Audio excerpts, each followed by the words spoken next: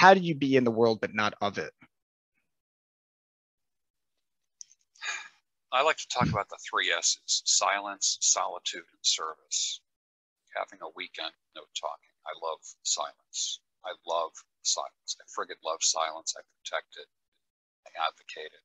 Can you imagine not talking from Friday night to Sunday morning or Monday morning? Not when you get out of work on Friday afternoon, not saying a word until Monday morning we go back to work. Not a lot of people can do that where you're only listening.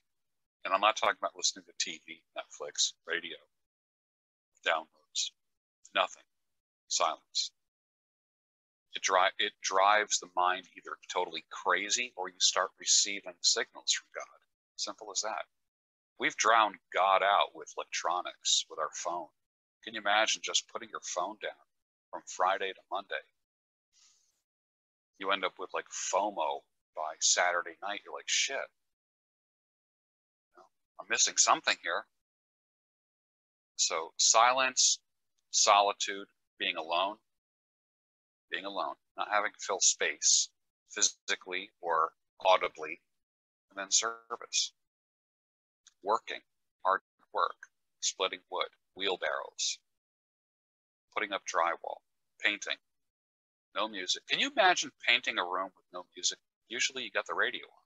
You're painting a room people can't stand, or, or a podcast or something like that. Holy cow. Imagine just having a weekend and doing your household chores alone in complete silence. Most guys can't do that. If you can't master that, you can't do anything. Let's start let's start with what we have in front of us.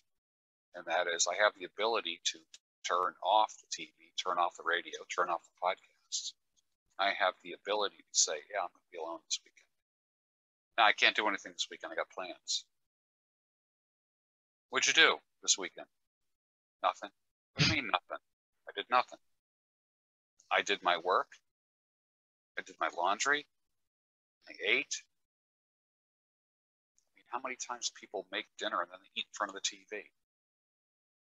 Silence, solitude, and service.